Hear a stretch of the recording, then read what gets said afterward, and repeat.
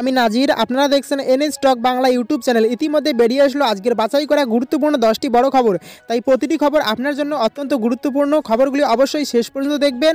আপনার কাছে ছোট্ট একটি অনুরোধ, ভিডিওটিতে একটি লাইক করবেন আর ভিডিওটির নিচে লাল সাবস্ক্রাইব বাটনটি ক্লিক করে পাশে আসা ঘন্টাটা চেপে দেবেন। এই রকম লেটেস্ট ট্রেন্ডিং খবরগুলি সবার আগে দেখার জন্য শুরুতেই চোখ রাখব আজকের গুরুত্বপূর্ণ খবর। ভবানীপুরে বিরাট জয়। মমতা বন্দ্যোপাধ্যায়ের শপথ গ্রহণ কবে? জানা গেল দিন। বিস্তারিতভাবে জানিয়ে দেওয়ার সঙ্গেই থাকবেন। তিনি জিতবেন, তা নিয়ে এক প্রকার নিশ্চিত ছিলেন রাজনৈতিক বিশেষজ্ঞদের প্রায় সকলেই। কিন্তু কত ব্যবধানে জিতবেন তা নিয়ে জল্পনা ছিল তুঙ্গে। রবিবার সকাল থেকে যখন গোটা দেশের নজর ছিল ভবানীপুর কেন্দ্রের দিকে, তখনই দেখা যায় গণনার শুরু থেকেই বাকিদের পেছনে ফেলে অনেকটা এগিয়ে যাচ্ছেন মুখ্যমন্ত্রী মমতা বন্দ্যোপাধ্যায়। স্বাভাবিক কারণেই গণনা যত এগিয়েছে, বিজেপি প্রার্থী প্রিয়াঙ্কা টিবরিওয়ালের থেকে ভোটের ব্যবধান তত বেড়েছে মমতা বন্দ্যোপাধ্যায়ের। তৃণমূলের অনেকেরই দাবি ছিল, পঞ্চাশ থেকে আশি হাজার ভোটের ব্যবধানে জিতবেন দলনেত্রী। সেই আবাসই সত্য হলো, ভবানীপুর থেকে আটান্ন হাজার আটশো বত্রিশ ভোটে জিতলেন তিনি। সেই সঙ্গে ভবানীপুরে জয়ের হ্যাট্রিকও সেরে ফেললেন তিনি। তৃণমূল সূত্রের খবর, আগামী সাত অক্টোবর শপথ গ্রহণ করবেন মুখ্যমন্ত্রী মমতা বন্দ্যোপাধ্যায়। করোনা আবহে ছোট আকারেই সেই শপথ গ্রহণ অনুষ্ঠিত হবে বলে জানা গিয়েছে। এদিকে আগামী তিরিশে অক্টোবর উপনির্বাচন হতে চলা বাংলার বাকি চার কেন্দ্রে এদিন থেকে প্রচার শুরু করে দিয়েছে তৃণমূল।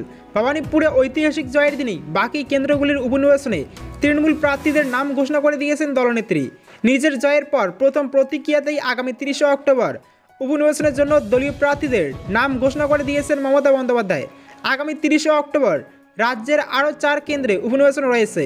এর মধ্যে খড়দহ এবং গোসাবা কেন্দ্রে জয়ী তৃণমূল বিধায়কের মৃত্যু হয়েছিল।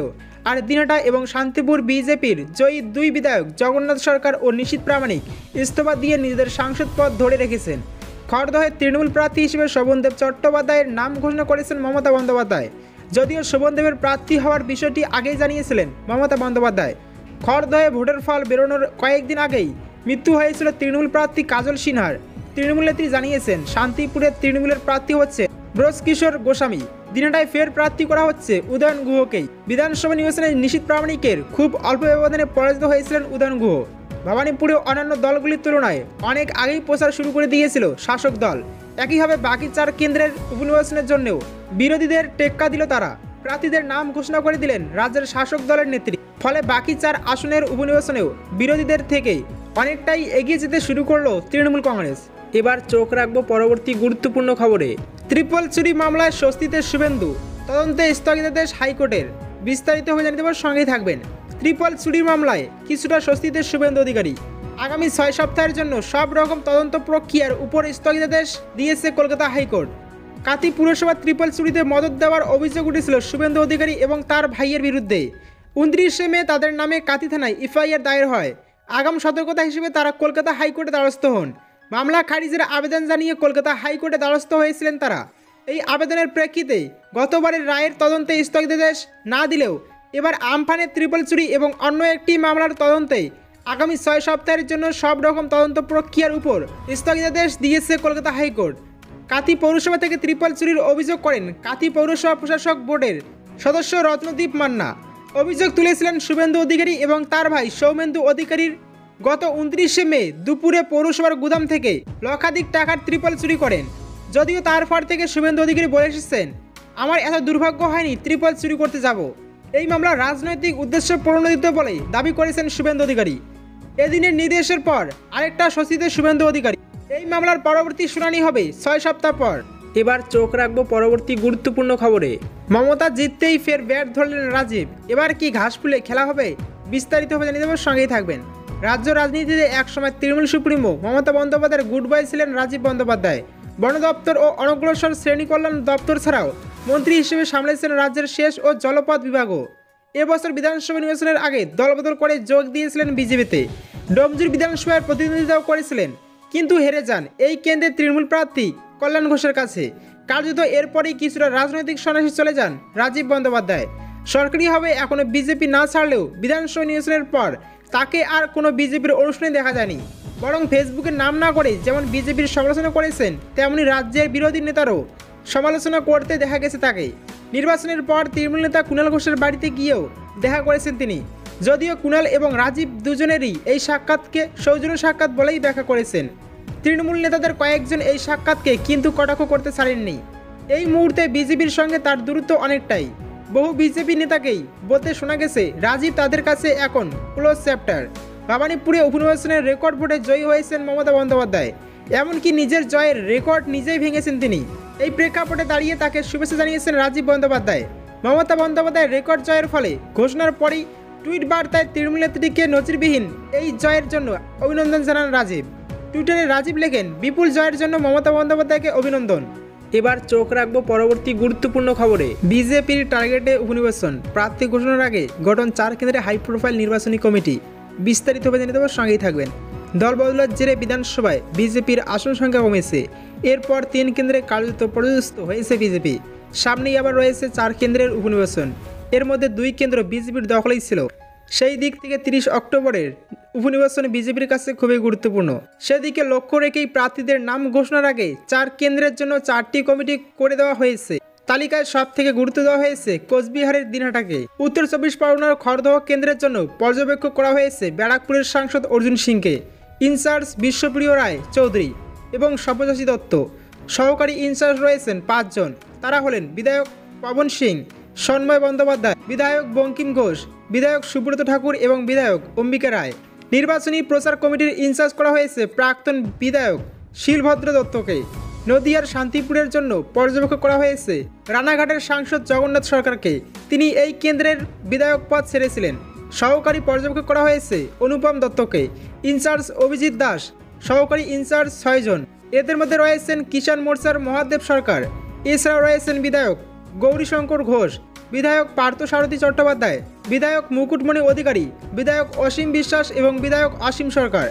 উত্তরবঙ্গের কোচবিহারের দিনহাটার কেন্দ্রের জন্য পর্যবেক্ষক করা হয়েছে কোচবিহারের সাংসদ নিশীত প্রামাণিককে।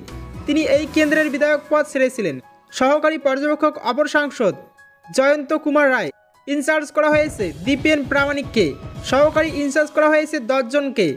এদের মধ্যে রয়েছেন শ্যামাচাঁদ ঘোষ দীপ্তিমান সেনগুপ্ত, বিধায়ক নিখিল রঞ্জন দে, বিধায়ক মালতী রাভা রায়, বিধায়ক মিহির গোস্বামী, বিধায়ক দীপক বর্মন, বিধায়ক শঙ্কর ঘোষ, বিধায়ক সুনীল বর্মন, বিধায়ক সুকুমার রায় এবং বিধায়ক বরেনচন্দ্র বর্মন।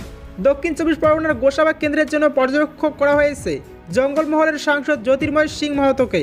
ইনচার্জ করা হয়েছে রাজ্য বিজেপির সাধারণ সম্পাদক সঞ্জয় সিংকে। সহকারী ইনচার্জ করা হয়েছে পাঁচজনকে। তাদের মধ্যে রয়েছেন বিধায়ক বিমান ঘোষ, রঞ্জন, বিধায়ক অমরনাথ সখা, বিধায়ক সুকান্ত ঘোষ, বিধায়ক স্বপন মজুমদার। ইতিমধ্যে চার কেন্দ্রের প্রার্থী তালিকা ঘোষণা করে প্রচারের কাজ শুরু করে দিয়েছে তৃণমূল কংগ্রেস। সেই পরিস্থিতিতে প্রার্থী তালিকা ঘোষণার আগে বিজেপির এই নির্বাচনী কমিটি তৈরি করে দেওয়ার বিষয়টিকে যথেষ্টই তাৎপর্যপূর্ণ বলেই মনে করছেন রাজনৈতিক বিশেষজ্ঞদের একাংশ। এবার চোখ রাখব পরবর্তী গুরুত্বপূর্ণ খবরে। বিধায়ক পদে মমতার শপথ নিয়েও রাজ্যের সঙ্গে কোন দলের রাজ্যপাল জগদীপ ধনকর বিস্তারিতভাবে জানিয়ে দেবো, সঙ্গেই থাকবেন। ফের রাজভবন বিধানসভা টানা পড়েন। এবারের বিষয়ে বিধায়ক হিসেবে মুখ্যমন্ত্রী মমতা বন্দ্যোপাধ্যায়ের শপথ গ্রহণ। বৃহস্পতি আর ভবানীপুরের নবনির্বাচিত বিধায়ক হিসেবে শপথ নেবেন মমতা।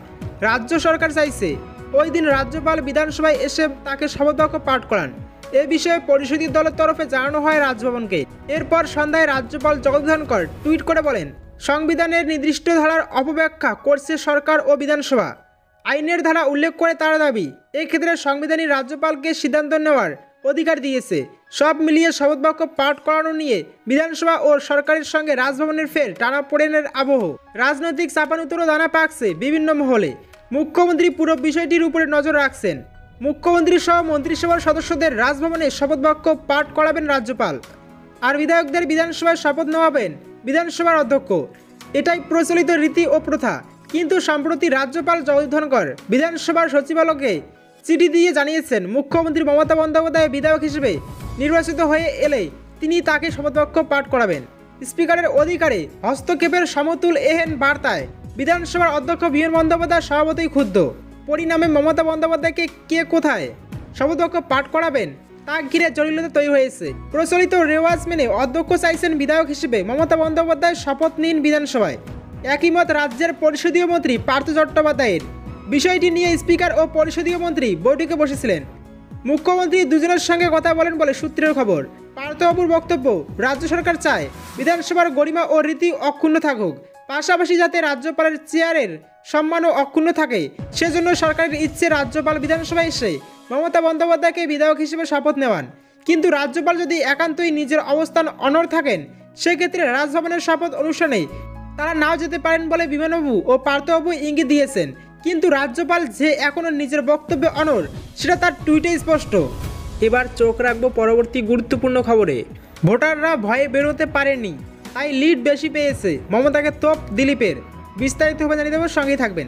দুই হাজার এগারো সালের রেকর্ড ভেঙে দিয়ে ভবানীপুর বিধানসভা উপনির্বাচনে বিপুল ভোটে জয়লাভ করেছেন পশ্চিমবঙ্গের মুখ্যমন্ত্রী মমতা বন্দ্যোপাধ্যায়। এদিন এই প্রসঙ্গে দিলীপ ঘোষ বলেন, যে রকম আশা করা হয়েছিল সেরকমই আছে। বিজেপি কোনোদিন ভবানীপুরে যেতে নেই, তবে লড়াই করেছি আমরা। ভয়ের পরিবেশে নির্বাচন হয়েছে। প্রথম থেকে হিংসা বিরোধীদের আটকানোর চেষ্টা করা হয়েছে। লিড বেশি হয়েছে একটু। আমরা আশা করেছিলাম কম হবে, কিন্তু লোকে ভয়ে বেরোয়নি। ভয়ে বিরোধী ভোটাররা ভোট বেশি দেয়নি, তাই লিড বেশি পেয়েছে। দিলীপ ঘোষ কটাক্ষ করে বলেন যে, টিএমসির পুরো মন্ত্রিসভা নেমে গিয়েছিল। নাচ গান সবই হয়েছে। আমরা বিরোধী দল হলেও সমানের সমানে টক্কর দিয়েছি। লড়াই হয়েছে, আমরা দেখিয়ে দিয়েছি, টিএমসিকে খোলা ময়দানে ছাড়ব না। তিনি জানান, ব্যাখ্যা হবে পরে। প্রত্যেক কাজের পর্যালোচনা হয়। এই বিষয়ে তারা পরবর্তীকালে বৈঠকে বসবেন